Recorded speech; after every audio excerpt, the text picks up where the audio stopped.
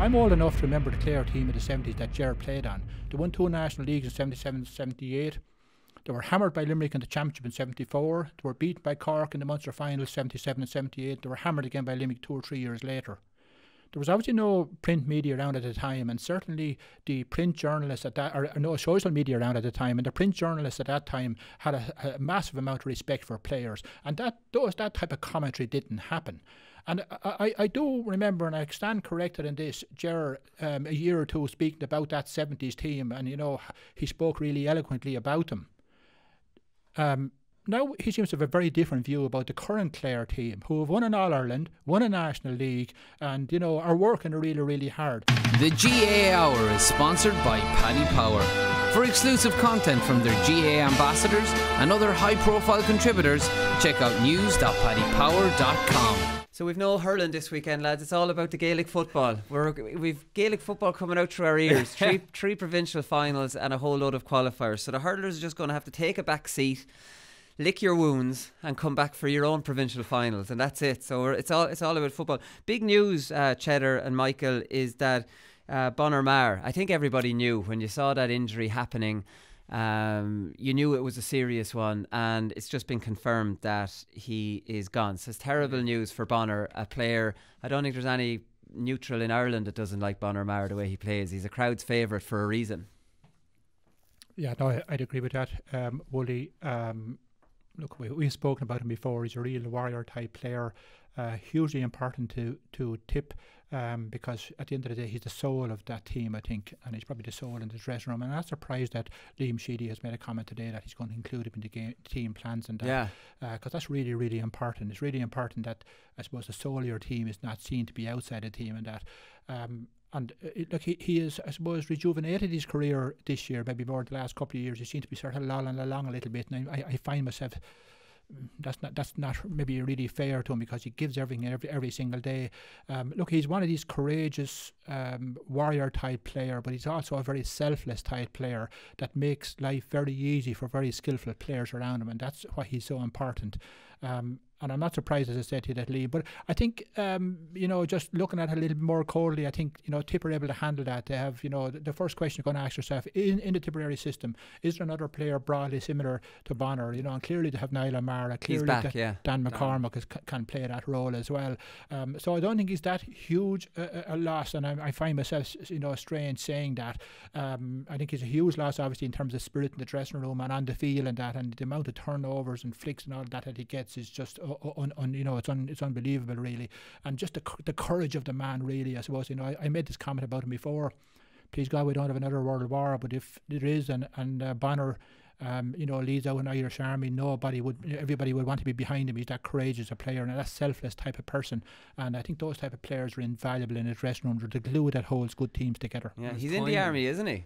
I'm not sure to be honest. With you. He was anyway. He was sure anyways, yeah. yeah. But sure, it's, uh, Colin Fennelly tell everyone to do nothing in that army, anyways. I don't think Bonner would now. Bonner just plays video games. but, but when you speak of Bonner, like I've marked him numerous times, and eh, right, his work rate, his work rate is something. His timing is unreal on the pitch. Really, like under a high ball, you think you have it, and this hurl comes down, he flicks it down, and, mm. and also his vision then when he goes through, he must be a dream to play inside that inside that line because he takes the man on. His timing for the hand pass is ridiculous, and he's underrated in that regard because so many times you see him coming in last minute, flicking the ball down, and he's gone. You know, and, yeah, flicks it down to himself. On, exactly, and he's probably the best in the country at it. And his timing coming onto a breaking ball is brilliant as well. So he's very hard to mark in that regard because he's just he comes onto the ball at full tilt. And what's he like off the ball? Then would he give you now a bit of the hurley no, if you wanted actually it? No, he wouldn't. No, no, and uh, you're expecting it because he's that type of player. Now, yeah. when the ball's in your vicinity, you're going to get it. But like no, off the ball stuff, he's no, no, no interest. No, Jeez, that no make interest. you like him even more, yeah, wouldn't yeah. it? That he's a gent now as well. So like Liam, what do you think Liam Sheedy, uh, Cheddar touched on it, Michael. He'll be an integral part of my setup for the rest of 2019. That's sure. That makes me think he potentially has a good hurling brain. He's a leader in the group. There's there's an whole other element to wanting him involved. Absolutely. like if he's holding hurls on the sideline when he's talking to the forward line. Uh, and he he's seeing things that the management aren't, and he's speaking to the players. Th- that's a huge thing for a huge plus for a team. Like, and if you have, he obviously, uh, Liam Sheedy obviously, uh, what do you call it, like loves that about him, and, and that's a mm. huge part of the player. So I definitely love to have him there uh, beside the forwards and talking to them throughout the game. Yeah, it's, invaluable. It is. Yeah, you might even just think of that even back then. You're absolutely right. It's the emotional side of this that's really, really important to the team. Um, and you might just think of that for a minute. Um, y- y- obviously, of course, you need to use this sparingly. Yeah, do it for Bonner. You'll only do that once, correct. really, Well, well, you? let's say, just think of a minute what Bonner, Bonner's going to say to the team. And he's going to say, um, Look, I've worked so hard here to get myself in a position to be able to play with this team and to win things with this team. Uh, but that dream has been taken away from me. Um, and I'm broken hearted about that. And, you know, it's over to you now. You still have that opportunity. Go away and do the job. Imagine the effect of that in a Tipperary dressing room that's already pretty hyped up anyway. Yeah. Um, you know, of course, you would need to use it sparingly and at the right time and all of that. But I think it would be hugely, hugely effective. Yeah, effective. I think it's uh, probably at the point where that speech should be made before the Munster final. It might lose its effect maybe the longer you go on, and they're not even sure. There's no point in holding it in reserve, is Yeah, there? Like no, either. not. Maybe just use it and that's it, and that's it done, and might get its effect for that. Should quickly, Cheddar, ask you because I always remember Brian Delaney in the Portlaoise Club used to give out about hamstring injuries, saying there was no hamstring injuries back in my day. I don't know where these came from.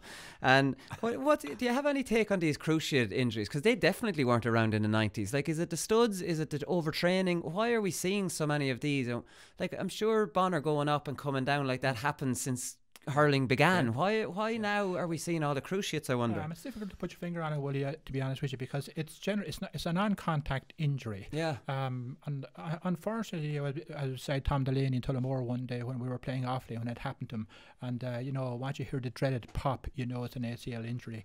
Um, and it's difficult to put your finger on it. Um, you know, there may very well be um, something, or you know, I, mean, I mean, I had this conversation with Pat Flanagan, um, the the Waterford Pat Flanagan, who who's the trainer of the Kerry team, and you know, obviously a very very um, well respected S&C Yeah. person. Because at the end of the day, uh, conditioning people will say, well, look, our primary objective here is to reduce injuries as well as, of course, of making the team fit and so on, and so on.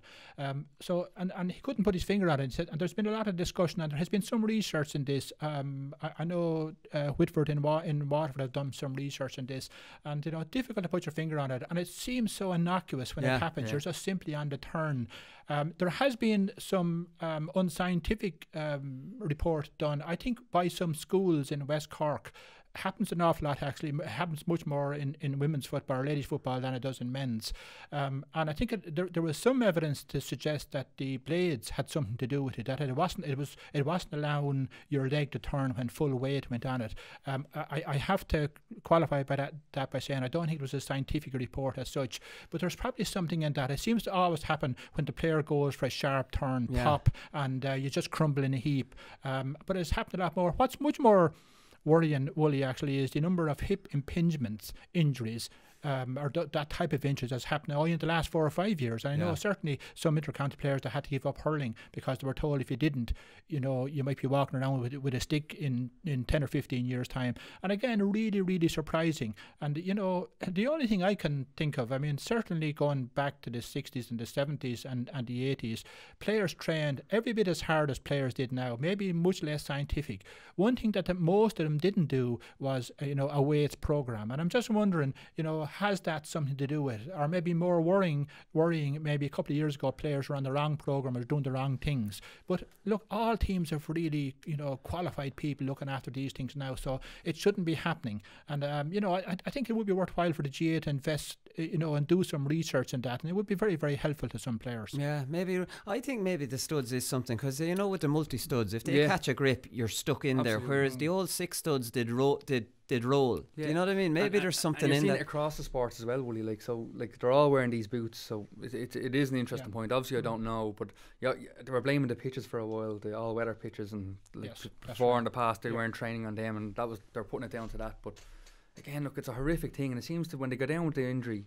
You used to say, "Oh, it mightn't be that." Now you're saying it is the ACL Yeah. straight away. Like, Yeah. mo- like the majority, because they do a test and they can pull that knee, and they know the physio knows within a few minutes. Straight away. Yeah, And it's a long way back from it's them as well, horrific lads. injury. It's Like, just you, you horrific. prefer to break Yeah. something than Yeah, do Yeah. just when yeah. I'm thinking about that, I'm, I'm just thinking to Cahir Healy at the minute, um, had a similar i- injury. Like there's an awful lot of players have had it now, and you know you had a fierce sympathy for them, and particularly like the Cahir. Um, you know, you know, once you go over the thirty and that, you know, you have a number of years left. You just know you have, um, and you know you don't want an injury like that that's going to take you out for a year, but another six months rehabbing just to get back to where you were. Yeah. and you're, you need real strength of character to get back there. You do, you do, and you a have to, battle, you yeah, have to Yeah, give it is. absolutely. Uh, yeah. Bernard Brogan a huge shout out for that because he's come back from one this year.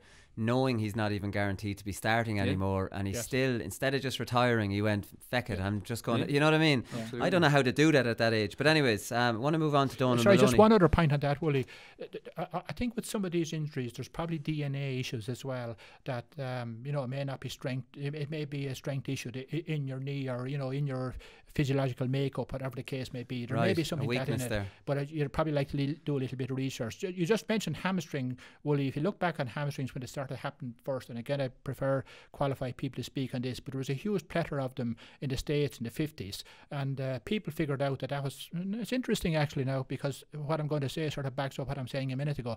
Um, you know, weight training and, and, and weightlifting and all of that, there was an explosion of it in the States in the 50s. And what people were doing were building up the quads massively. Of course, nobody ever thought that, you know, I need to build up both sides of the out. leg, balance it out, correct? You know, so I think that's when it started first. So it could be interesting, but, uh, you know, you certainly leave that up to the uh, qualified people So to you give can a see the research. on that. quads and the tight shorts. That's You correct. can't see the hamstrings. Michael, there was a little bit of that in it. So, as well. Ch- Cheddar, when did hamstrings start creeping in down? Because Brian, this was in the nineties. Brian Delaney started giving out to me. When, what are you No, talking about? These it- it was hamstrings? before this, but I'm going to tell you a very funny one, uh, Willie, and I can't mention the people involved in this, um, but you probably know them.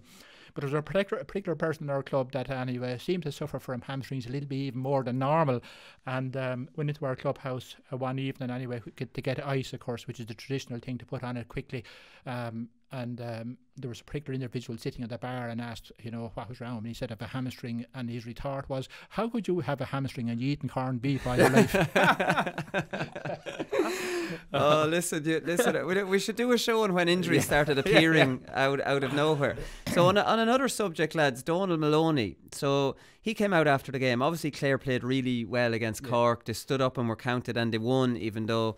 They knew they won for pride pretty much, like the because the Limerick result was filtering through, and most people in Ennis knew that they were out even when they won, but they finished the game strongly. So Donal Moloney's talking about says after the game, they can attack us all they want. We're around a long time. We don't have any issue with that. But attacking players as they have done, it's not very respectful. And I was just wondering who he's targeting that at. And I was looking, obviously, Loughnane, the Bowl Ger, um, was talk was uh, talking after the Limerick game. Anthony Daly was talking about it. Ger Loughnane says the utter nonsense of Clare's approach, the utter gutlessness of their players on the pitch. Um, he pulls no punches. Anthony Daly says the will to fight seems to be gone out of them, and that's not in the space of a few months. So often you, uh, they're the two high-profile ones. Often there can be local journalists that actually get get players' backs up more than any national jour- n- any national columnist. So I don't know. Like, I mean, what's your take on this, lads? Are, like, sometimes I wonder about this, in that they're two terrible results, right? And well, it's not right to call players gutless. Like, what does that really mean? Any does anyone Yeah. believe Jared when he says gutless? No. Like, is it worth to get? Is it worth getting your, you know, nose out of joint over Jared Loughnane saying you're gutless when most people would know that you that that's not the case? What do you think, Cheddar? I'll start with you. Uh, look, I've commented on this last week, I suppose, Wooly. Um, look, there's probably two parts to this, really. There is the, you know, the standard journalist, um, you know, print journalist, radio journalist, um, podcasts, um, and so on, so on. Um, and they're named individuals, and you know who they are, and that. Um, and then there's the social media. But I'll deal with the with the other one first. Um, look, you have a certain amount of responsibility here to you know, back up what you're saying here, and you kind of just throw uh, things around like that. And I suppose I'll just go back to the point, Willie, that I made last week, and I didn't make it very well. Um, we all know how this, how the radio works, and how you know all of this works. Um, you need to be sensational. You know, this is sort of clickbait stuff. It might be radio, it might be podcast, it might be anything, but it's the same thing that's going on here as goes on in social media. You've got to be sensational. Um, because you need to keep yourself popular first of all to keep yourself relevant. But the more important thing here is that the more sensa- se- sensational you are and the more readers you have the better chance you have of selling um, um, advertisement and obviously it's a money issue. Um, so I, I, I you know I think we, we need to understand that. But I want to go back to the other point I wanted to talk about Ger for a minute, first of all, because Ger made the point about Clare players being gutless. And he was talking about his own county and his own neighbours here being gutless. I'm old enough to remember the Clare team of the 70s that Ger played on. They won two national leagues in 77 78. They were hammered by Limerick in the championship in 74. They were beaten by Cork in the Munster final 77 and 78. They were hammered again by Limerick two or three years later. There was obviously no print media around at the time, and certainly the print journalists at that, or, or no social media around at the time, and the print journalists at that time had a, a massive amount of respect for players, and that those that type of commentary didn't happen. And I, I do remember, and I stand corrected in this, Ger, um, a year or two speaking about that 70s team, and you know, he spoke really eloquently about them. Um, now he seems to have a very different view about the current Clare team, who have won an All Ireland, won a National League, and you know are working really, really hard. I think the performance of Clare this year had nothing to do with gutlesses, and, and throwing away that sort of remark was irresponsible, to be honest with you. And you certainly cannot throw it away unless you can back up yourself in your own career that it didn't happen to me. Um, and I, I'd make one other point on, on this, and it's the most serious point I want to make, Wooly. Um, Aware is the organisation that looks after depression in Ireland, and they know more about that than anybody else. And our statistics on this is that I think it's one in ten um, pe- person that that are people that suffer from depression on a regular basis. If we take that there's 50 people in the dressing room, we can take it at any given time that there's five people in the dressing room that may suffer with some form of depression. I don't want to, to, to, to get into the real, real serious details about this and you're calling out your own people as being gutless um, when you know you know that you could have some people like that in a situation like that that drives them even further to despair and more anxious than they are I think is very irresponsible. And I, will make one that's the more serious point I want to make William I'll just make one final wrap up comment on that. For years the serious journalists I, I can't remember reading that. And it, it appears that uh, former managers and players are making these type of comments more than anybody else. You, you, you, you don't see too many of the of the journalists, and I'm wondering do they need, need a little bit of media training, a little bit of journalist training, and so on and so on, to really know how hurtful these things can be and the impact of those things. I'll qualify all of that by saying this. Um, there are a number, you see it regularly in the media at the moment, particularly uh, from former managers or players of their county. Sometimes they're used to G up their team. I mean, I, I take your point about what Dalo said. Yeah. Um, I actually probably think, you know, there may very well be in a phone call to Dalo, Dalo, I need you to dig out here. Um, I need you to, to, to, press our team here and so on and so on. Um, you know, there's some of that going on as well. Um, and look, I'm going to finish all of this, uh, uh, by saying, the, you know, the, the media companies themselves, whether that's newspapers, whether it's Sports Joe, whether it's whoever it is, it makes no difference. You also have a responsibility to make sure that that uh, you know these are amateur players. These are our neighbours and all of this. We can't speak out of one side of our mouth and say the GAA is a great community organisation and, and so on, so on. And on the other side, castigate them as being gutless. That's two faced. And I, I think people need to be a little bit more responsible when they say things. I've no problem at all in calling out a performance based on facts. Somebody missed a couple of scores or something like that. He was inaccurate or something like that. That's fine. I, I think no player, I don't, don't know any player that wouldn't mind about that. But, you know, leaning on the emotions of players and calling somebody gutless I can guarantee you one thing: I don't know anybody that would call John Conlon or David McInerney or Tony Kelly gutless. It, the one thing that they aren't is gutless. Yeah, no, I don't think they're. I, I think when Ger says that, I don't think too many people pay too much attention to no. the gutless thing. Like I would think if he'd said.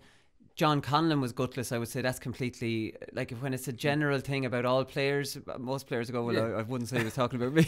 yeah, yeah. I don't know. I think yeah. Loughnane. I give Loughnane a pass. He's always at that kind of thing. I do accept the social media thing. I don't like. I wonder what what like what, what Dalo said. I don't think there's anything wrong with Dalo said because there did seem to be a lack of fight in Clare that day against yeah. Limerick. And like I mean that what what's fair criticism and what pushes into what's unacceptable. See, Dalo normally speaks well. He always hear of his graph Clare. Like he, he, he praises them a lot, and you know how much he loves Clare hurling. And there's definitely even if he didn't get a phone call there, he, he wants to G them up himself because he wants Clare to do well. You know, yeah. that's that's just the man he is.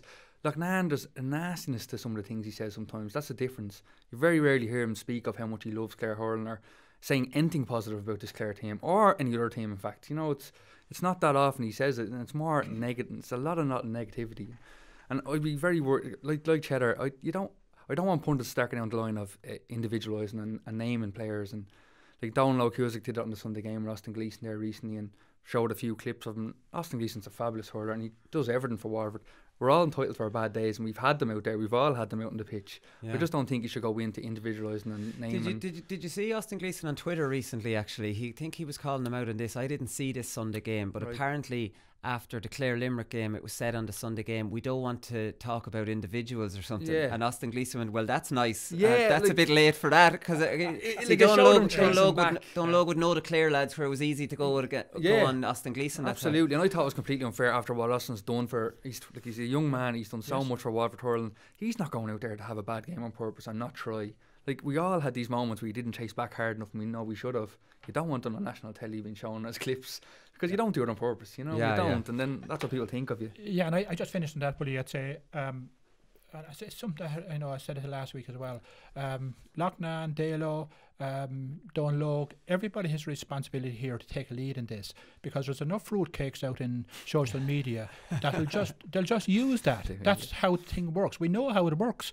Um, they just follow that and they think, well, look, if Dalo says it must be the truth, I'll go on ten percent further. Yeah. And I, I- I think there's a, a sort of a golden rule I think we should tr- treat people with here. How would you like to be treated? Hmm. And I think if you use that, you won't go too far wrong. Yeah, okay, no, that's fair. That's uh, wise enough words. Sometimes I do think that players can be a little bit oversensitive. Now, I do Yeah. think the, the gutless is, but like, I mean, sometimes if you have a really bad game, like against Limerick, Hmm.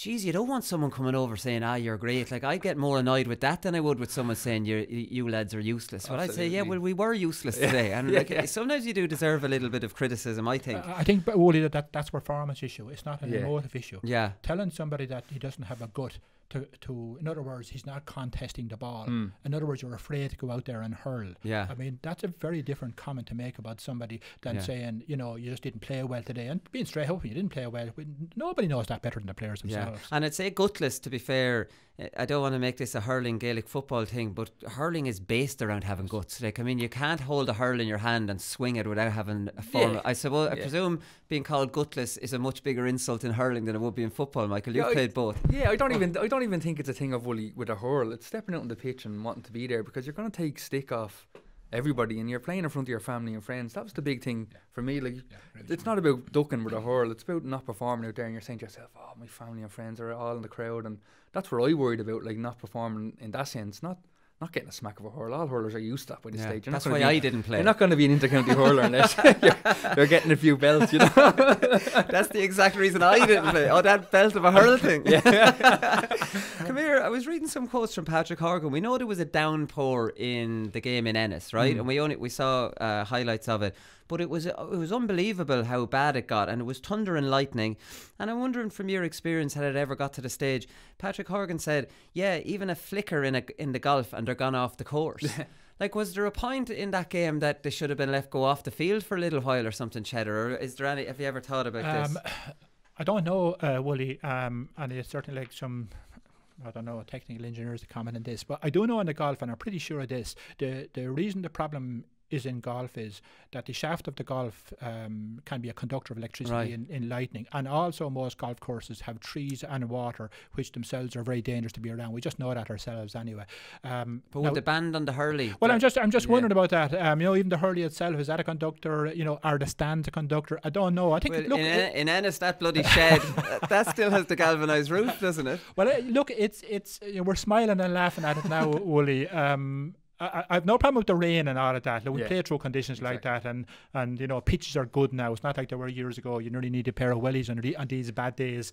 Um, but. Uh, but I think the lightning issue is something that should be checked by the GAA just for safety. Bear in mind there was I don't know twenty five or thirty thousand people there and players. This is both now. It's not necessarily the players this time. It's everybody.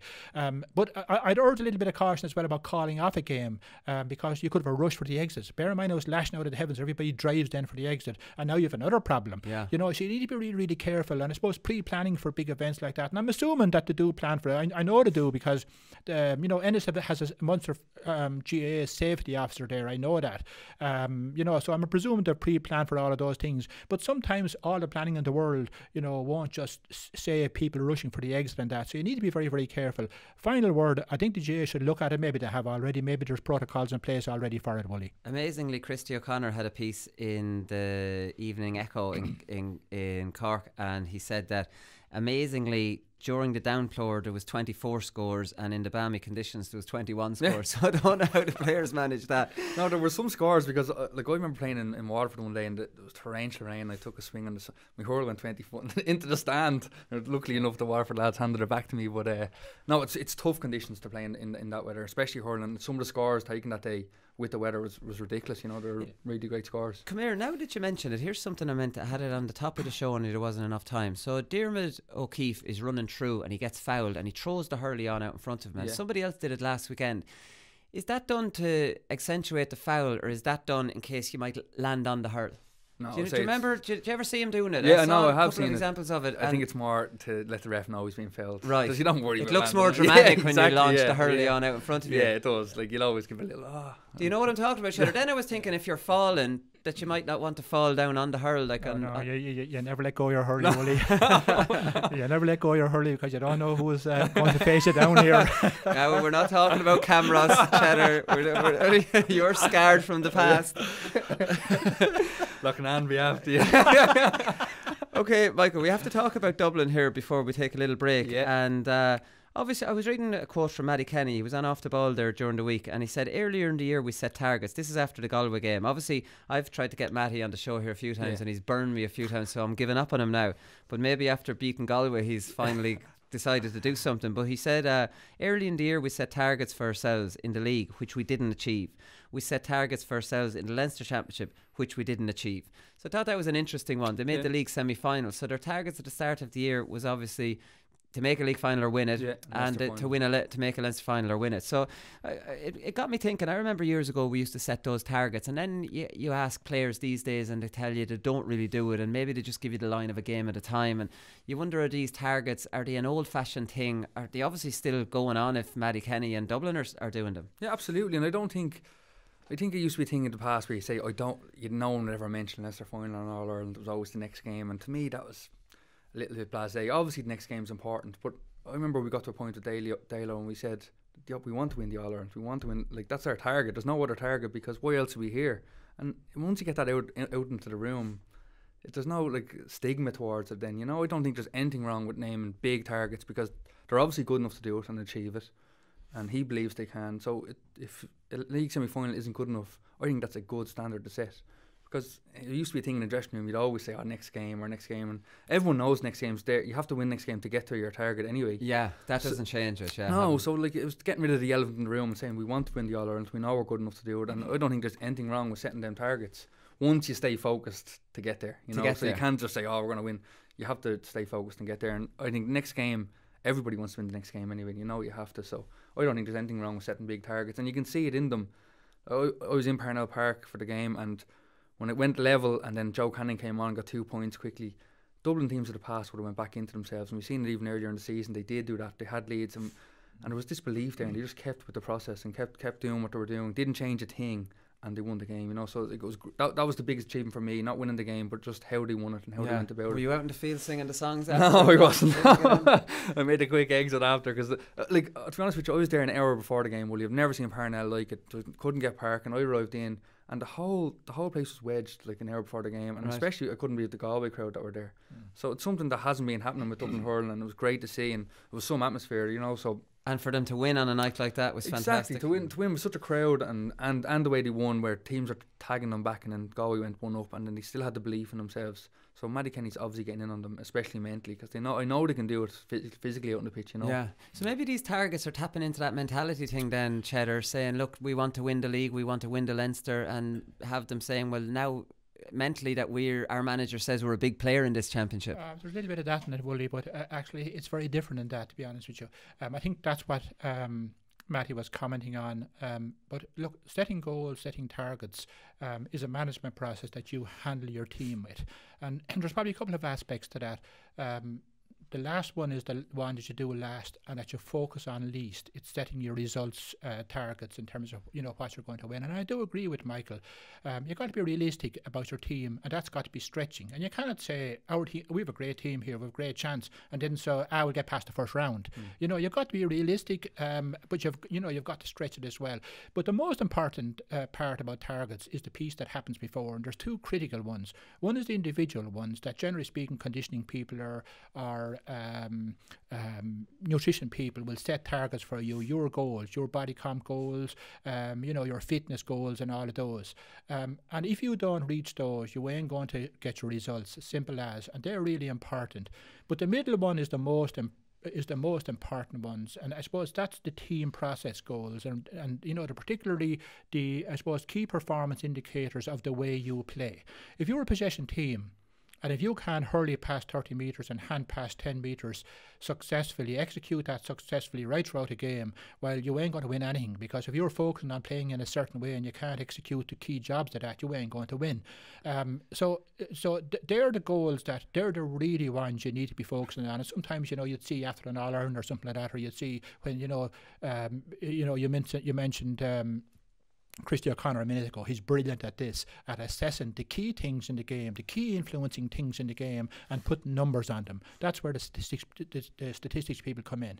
Um, so if you were going long ball game, for example, and you were going, um, well, if you don't have players to, to you know win the air game, and you're not winning that on the statistics, if that's your KPI, well, look, you're playing the wrong game, uh, um, so on, so on. So I, I'll go back to that, and I'll go back to look this goes back to business really and, and to um, you know work conditions and, and HR and all of that. Um, there's um, an acronym called SMART, specific, achievable, measurable, achievable, realistic, time bound is how you should set goals, and one of those is achievable. Um, so look. Dublin have to believe that Leinster winning Leinster or getting into a final is achievable. Achievable. They have to. Otherwise, than that, they're on the wrong field. And, and the other point I'd make on that is they need to be stretching. There's no point setting you a goal that you know in your heart and soul. Um, you know, you could ask an inter-county player to 100, run 100 meters in 20 seconds. I'd run that myself. Mm. Um, you know, so so you need to, yeah. to you need uh, that's how they manage. I just think that uh, Mattie might have been uh, asked about something and he answered it like that. I think what he was what he was referring to is results goals. I can tell you that the, the level of detail on an individual and on and on games process goals would be very very detailed, uh, very specific to what you actually do, and they're the ones I'd be keeping my eye on. Right. Okay. So there's loads. Basically, there's loads of targets throughout yeah. the year. This this is just the final Absolutely. kind of one. This is just yeah. the kind of show. It's the one you focus least on. I, because yeah. if you don't get the first and second right, the third won't happen. Mm. I told this one on the football show before is when Justin McNulty took over Laois and Laois had gone through two really bad years. They'd been hammered. This was the they'd gone through Micko, then Liam Kearns, and then uh, Sean Dempsey took over. And Sean Dempsey now they shipped hammerings by a couple of counties and they were beaten by Tipperary in the qualifiers before Tipperary got on well. Justin McNulty came in anyway. It was one of these early meetings, so he sent around the thing about the, the goals and the achievements. Now, Laois had been relegated and they hadn't won a Leinster Championship game in three years, whatever. And then you're getting all, what's your goals for the year? And he's All Ireland, win the All Ireland, win the All Ireland. And I think I'd written down make a Leinster final and get out of Division Two or yeah. something. So was winning All Ireland was coming up so much. I was getting thick at this now. So I, I gave out. I said, This is a joke, lads where are we going with All Irelands? We haven't won a game or whatever. Get your head out of clouds and stop this nonsense and let's get back to winning games or whatever. Oh, I was reprimanded for being too negative. Yeah.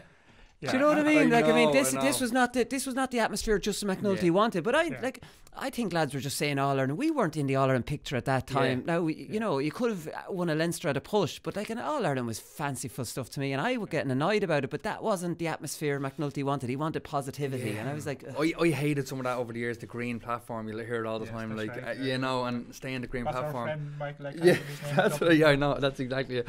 I, I, can't think of myself there. It, but he, uh, like you have to be realistic, Willie. Like when I was in the same boat with Dublin, we were nowhere near winning the All Ireland. And if someone asked asked us in the room, "What's your goal?" and someone said, "I'd get tick as well," because like it's not realistic. It's yeah. not a realistic goal, and it's, it's lazy achievable, to say yeah. it because it's what they want to hear. Yeah, it's not what you're really thinking, you know. And if you're really thinking, let's get out of Division Two, that's that's an that's an achievable goal. Do you know? I don't it wound me up a little bit. and if you did say it, you're like you're on the red platform. That's right, that's correct. But you have to be honest. Like I've never heard this platform. Have thing. you not? No. So green platform is like all positivity, and, and if you're on the red platform and you're anyway negative, you're the red platform, and you're like a oh, I lived on the red, like, like a bucket dripper from the like you're draining the team. That's the, like you know oh, you're, okay. you're draining the positivity from. But like I thought it was a bit nonsense at times because I, I, you have think to be what's really dangerous about that is that you lose connectivity between the management and the team, and you can never ever allow that to happen. Um, yes, you need to drive the team. Yes, you need to raise the standards here. But Willie, I take your point. You need to be realistic in that as well. But that's the achievable part you were Yeah, talking about there yeah. and, wh- and what we're all talking about. All right, lads, we'll take a quick break and we'll come back with a couple more talking points.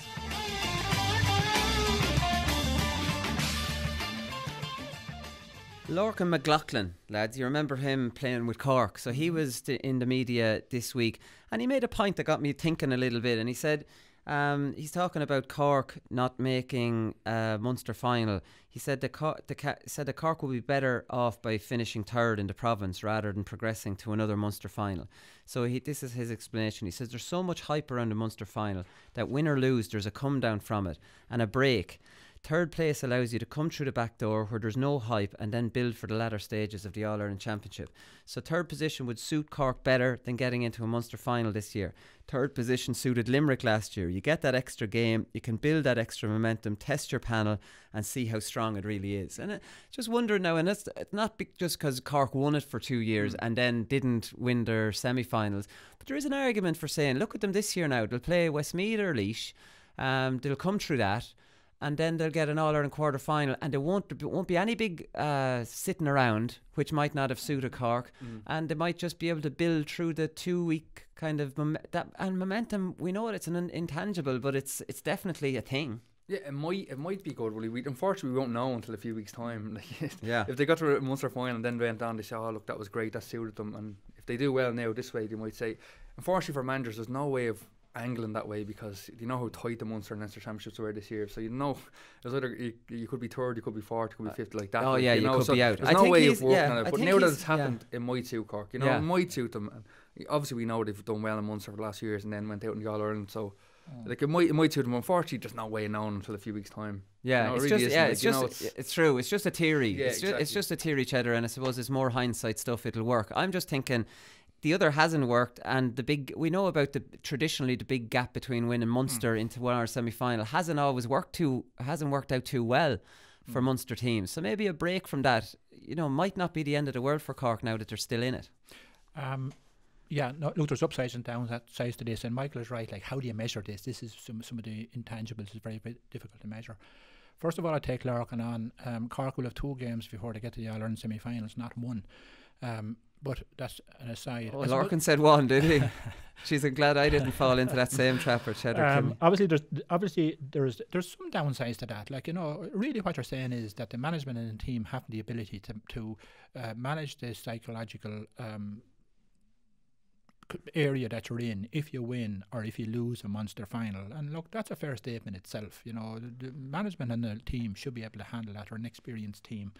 Um, and there's a couple of other downsides to it as well. Like you're going to play two games, and um, look, I'm going to be realistic and say they should get over the first game if it's Laois or West or, or Westmeath. Um, but the second game, there's nothing guaranteed that the quarter final two, I'll call, call it just to, to to give it a name. Uh, there's nothing guaranteed there, and you have two games now with the potential to get injuries.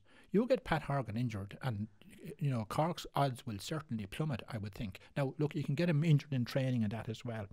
Um, and but I think the more worrying thing is this: um, if you get over the two games and you just play poorly, and you know you're not you're not really building momentum as such, um, you know you're going into a game then you know not in a great mental state and mindset and that. Whereas you know you, you get into a Munster final and win it, even if you lose it, you have time to reset yourself again. So I think there are downsides to it. The upside to it is look, Cork have won two Munster, so all the people in the dressing room have a Munster medal. There's no hang ups here in the dressing room about where you are and that. And I think the draw has been good to Cork. You know, you, you can now focus on a pathway to win an All Ireland. Have two Munsters, Um, and look, Pat Horgan said it the other day. Look, he says our focus is on winning in All Ireland. So read between the lines here. Um, we'd like to win a Munster Yeah. championship, but we want to win an All Ireland. Yeah, I think psychologically their heads aren't messed up by not making the the Yeah, Munster. correct. Like you That's- know that's- Limerick, for example. Well, I think they have medals. They're, they, you know, Yeah. Limerick are different this year. I think they have to win it. I think that's a good example. So I think on balance, um, you'd probably say that this year it that you know what Lorcan is saying may be right uh, for a number of reasons. Look, they have serious ability, um, serious capacity to win it. So that the, the the they definitely have all the fundamentals to win it. Um, but the United Nations have a mindset to keep improving game to game. Um, and you know that they want to fix any little issues that need to be fixed within the team, uh, that there's no injuries to key players, um, and that they get the right game plan and all of that. Really, really fine with the right people, and like they're the things that's going to win an All Ireland for them, not not winning a Munster or something like that. Yeah. It's the things that you do in the training field and the structure of your team, the game plan you have going out, and with an eye on the opposition. They're the things that win All Irelands. I would think. I've never been there, but I, I, I would think the same thing applies to every, no matter what sport you're in. Um, but I just think, just on the balance, maybe that may be the case this year that Cork will have a clearer pathway and less um, hurdles, uh, you know, in their way as such uh, to, to go away and win that. And they'll probably have a nice pathway. But look, if they if they win that in the preliminary quarter final or in a quarter final, um, that could be against Kilkenny or Wexford. There'll be nothing handy there. No. No, there definitely won't. D- Diarmuid O'Sullivan was on Paddy Power's um, uh, website, and he was doing the Q and A for them, and he was saying that Cork won't win an All Ireland without one or two of Lehane and Shane Kingston, or both, being on the starting team, and Yeah. they're both on the bench now, I've which. I, I'd be on Diarmuid's way of thinking there. Like, I know we want these working half forwards, and Meade will do that, and Kearney will do that now. I'd have Kearney on it every day. Yeah. But Jesus, I'd have Kingston and Lehane both on the team. And A- sorry, but Aidan Walsh and Luke Meade will be losing out for me. Well, Lehane definitely for me. Uh, Kingston, Kingston's just inconsistency. That's the problem with Shane. Like, Maybe, he- yeah. Like, If he, I like, yeah. he can be outstanding and he can his work rate, so, but then the next game disappears. And he does tend to influence the game when he comes off the bench. Absolutely. So maybe you- there's a absolutely. case for leaving him on the bench. But Lehane, no, come on. he's now. just Lehane, and I don't think he he'll be on the starting t- lineup for the for the for the big games. Now, he's just too like he's too invaluable. He, he's a serious player, and he plays in big games. Like you often see Lehane, he doesn't disappear in big games. He does step up and stand out. So like, I think he'll be there. Kingston, no, I don't think so. I think, as you say, he makes an impact when he comes on, and the games I have seen him start. He has disappeared disappeared in bigger games, so I don't think he's his biggest loss. Yeah. Okay. What do you Sullivan was what do you think? Do you think that, that Lehane has to get back on it, Cheddar? I don't care. He has to get back I, on I, it. I agree with that. Yeah, no, I, I think he's a very, very good player. Um, um, I, I agree with Michael. I think Kingston has to mature a little bit more off the ball than on the ball. He's a very, very Yeah. dangerous forward. Um, I think against sorry to cut you off. I think against Tip Kingston got three from play and he got important ones and was dropped for the Mm. next day. And he was I thought he was watching that game. He was one of Tipperary or Cork's better players. He always seems to be a fall guy as well. And there may, there may be a little bit of that in it, Wooly, um, but uh, I wouldn't think so. I, I think you know, a Cork management would be very fair to every player. You've got to remember they're picking what they see in the training field as well. Um, and you know, you, you, you know, John Meyler and and and uh, Fraggy are going to look at it. Did did Kingston get three balls put in his hand that was you know that even Wooly had slapped him over the bar, um, or did he have to work really hard? Was was he part of the um, uh, the way they play? In other words, did he turn over the ball, uh, turn, get on a run, give the pop pass, take it back, give and go, and so on, so on? Has he is he executing all parts of the position that he's in? I suppose is the is the question I'm asking. And some of the time, I see him. He's an, he's an exceptional player, and I saw him in Fitzgibbon this year. And he, look, he's an exceptional forward. That I think in a year or two's time he'll be he'll he'll be undroppable from the Cork team. Um, but I think he needs to work a little bit more on on the off the ball stuff, the tracking and the tackling and the hooking and the blocking and, and that type of stuff. Um, and and maybe maybe feeding other players um, for him to, to make himself in, into that position. Yeah, no, okay, fair enough. I'll, I'll agree with that. I have to ask you about Laois, um, Cheddar. They rested a good few of their starting team. drew, drew with uh, Westmeath. Joe Quaid said, I think anyone with a brain in their heads, I was mentioning this on Monday, I think anyone with a brain in their head would realise after about 10 minutes of the second half that turned into a shadow boxing exercise. Eddie Brennan said something similar, and we know the final, we'll talk about that next Thursday, will be a lot different to that. Still nice to draw with Westmeath, uh, who hammered Laois last year in it while resting a lot of players. Um, yeah, no, it, it is definitely. Um, look, both teams know each other very well. First of all, you know, obviously playing one another a lot over the last couple of years, um, and you know, Paddy Purcell and Charlie and and uh, Rhino and those would be, you know, their their first teamers on the team. Um, you know, they would certainly will be playing in Croke Park on the thirtieth. Um, and and but there's a small bit of a danger there too, Wooly, that you know, let's say you don't play four or five of your strong players, and there's a sort of perception in the dressing room that look, we've 15 or 20 percent um, improvement just to get from that alone going into Croke Park, and you're just, you're just sort of banking that, and you know it doesn't work like that because you don't know whether the people who were playing last Sunday were fighting tooth and nail for their position and maybe playing above you know some of the regulars. So so you don't know, I suppose, and um, you know I think Eddie and Tommy and Fran and and, and Niall Corcoran in particular particular have brought the team a huge amount, playing a really really good style of hurling. Um, they have a very very young team, and with a lot of there's a really really good future in this team. I think now there's a huge step up to championship hurling. I spoke about that, and we might talk about that again next week.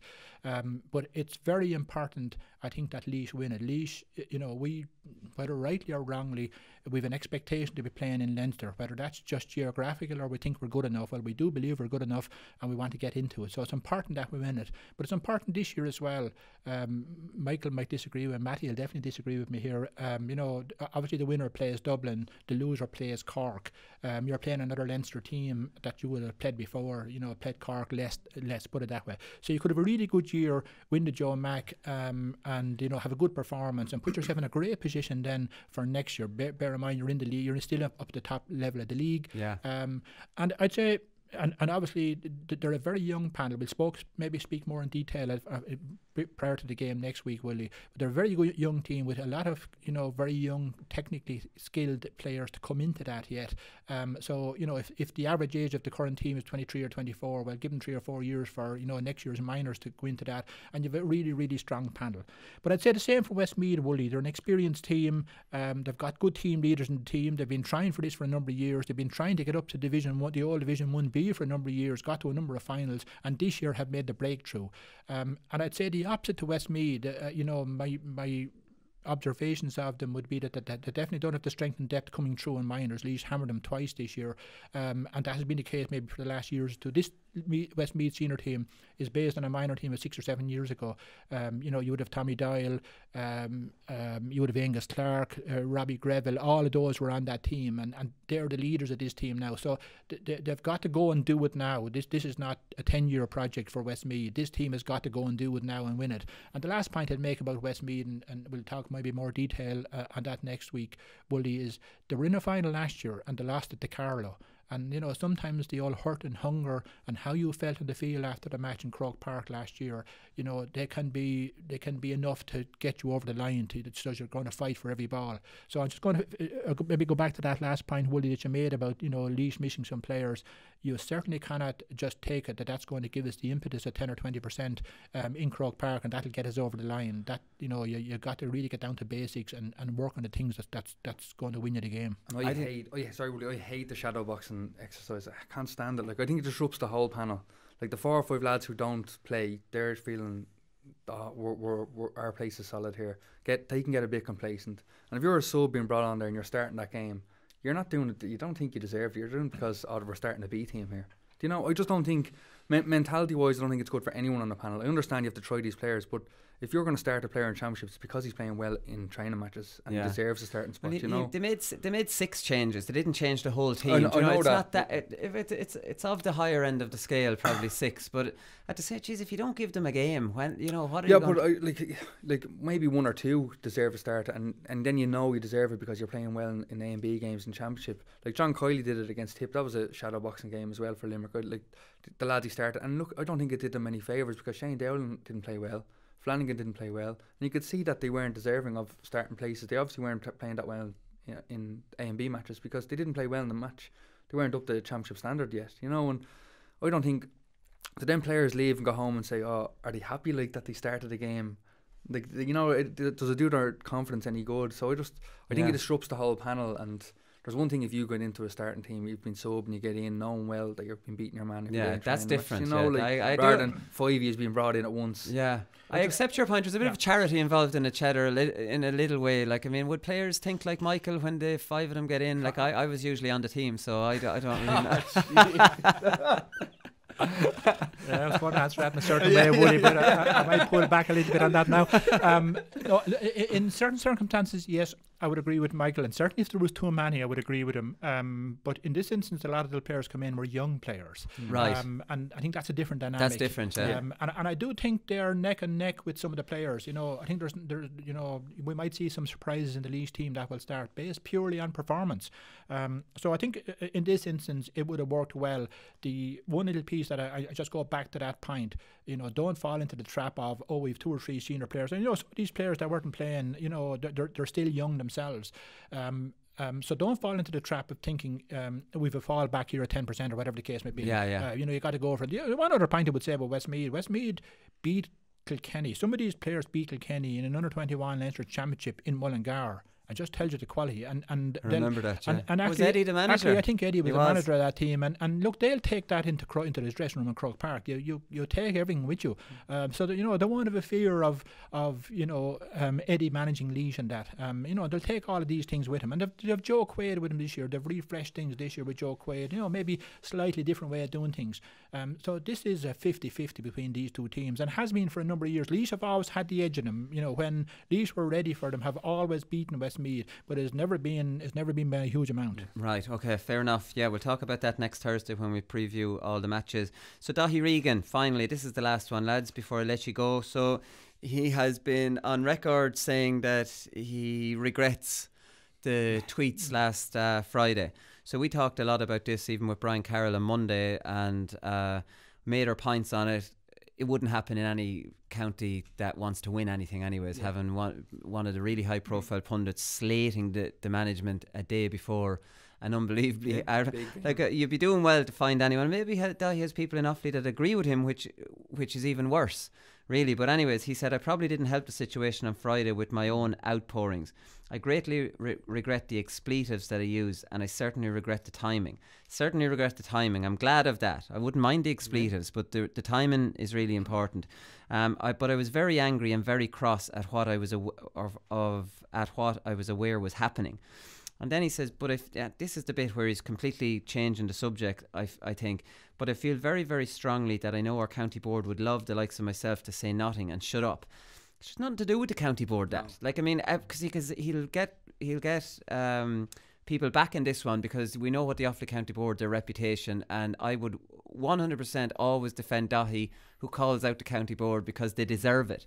Now, this has nothing to do with a county board issue. This was him completely undermining the senior management team.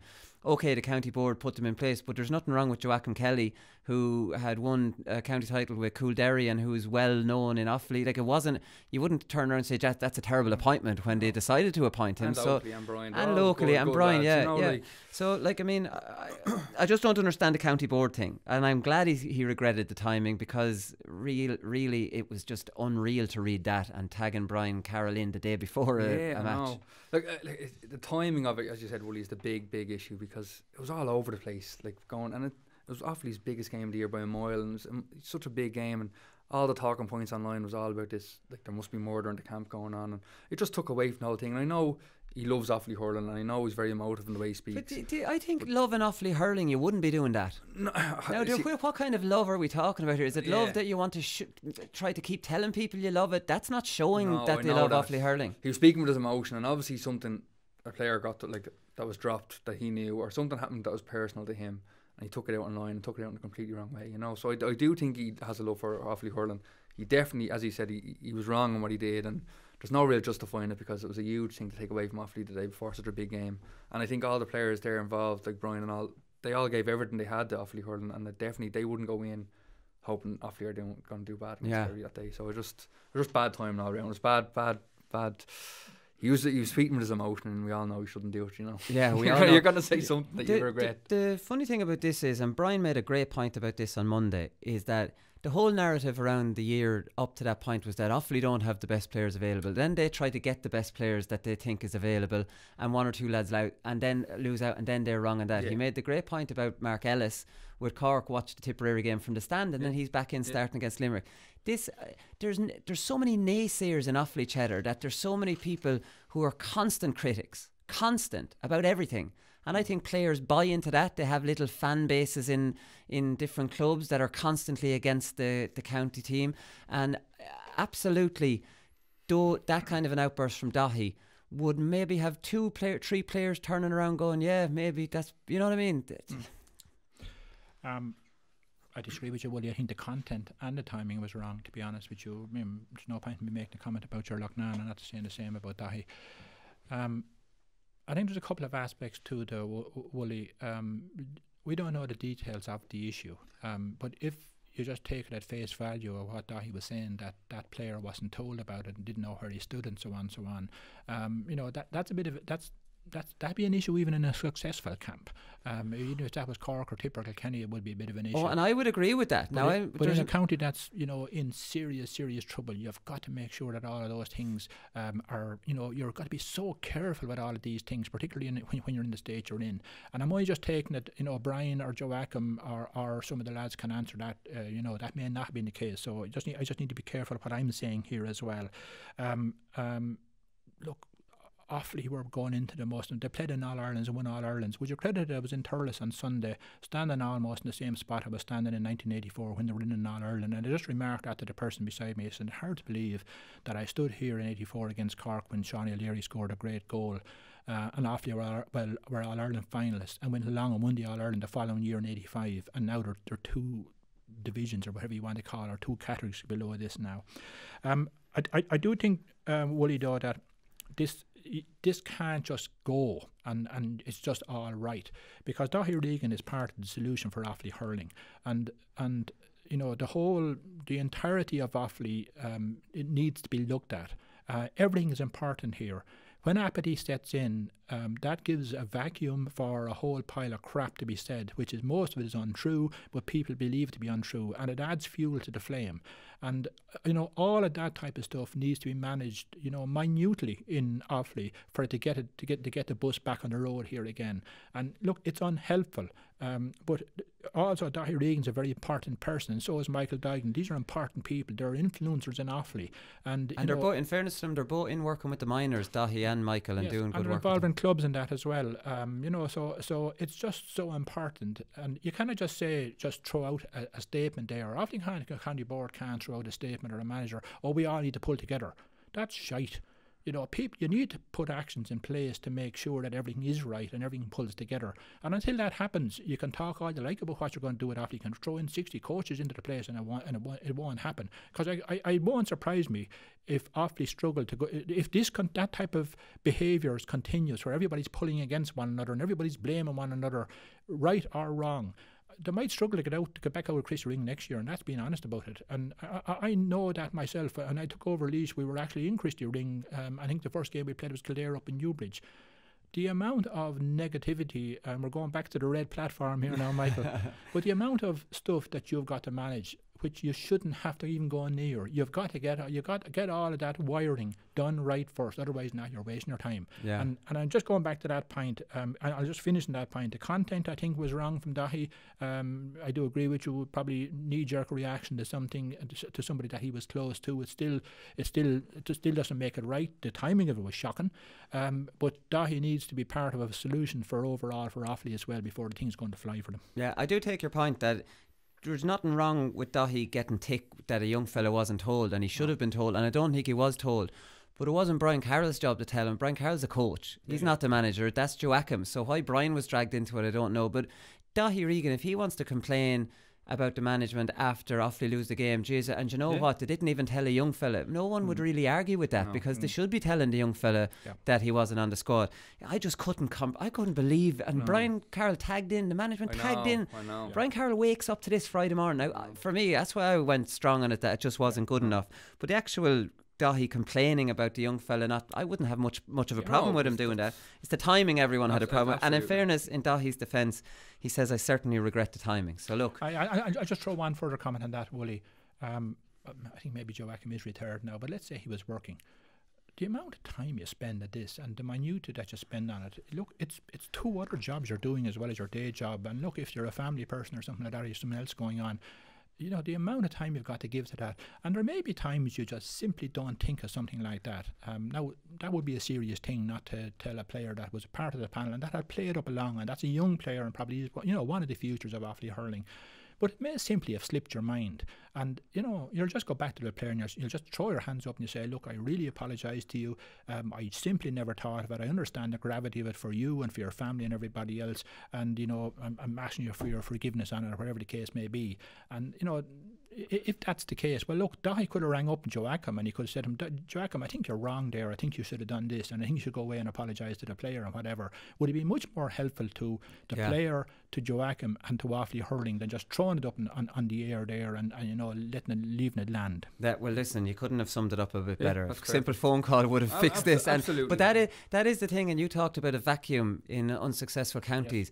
That that's probably championed that outburst and ah this is crap Yeah. and it becomes fashionable then to be a critic and you know instead of that it, in most counties that would have been fixed with a phone call but in Offaly the fashion is to let's bring this out let's expose Ah, this but Willie, it's not, enough, it's not It's just not after just now. Offaly, I was Yeah. say, It, it, this is what happens when you have lack of success. All of the key parts, the fundamental parts of success fall apart. And some of that is just simple values like trust, honesty, and all of those things. They fall apart.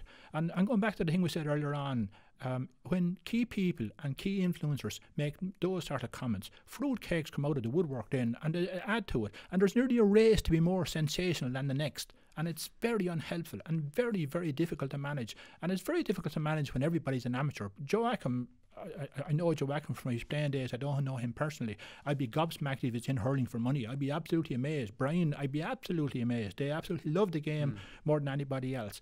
I would say Joachim and Brian would be raising with themselves if they made that mistake. I definitely don't think they made it deliberately, and I think it would have been helpful just to give them a, a nod on it. Look, there's a young man here that's very upset about what actually happened to him. His family's upset, and so on, and so on. I think it, be, it, it would be right for you to go out and explain it to him, or whatever the case may be, apologise to him, or whatever the case may be. End of the matter is over. Yeah, okay, couldn't agree more. Lads, really enjoyed this show. No matches. We might just do shows without any matches in future. there, much, much more enjoyable.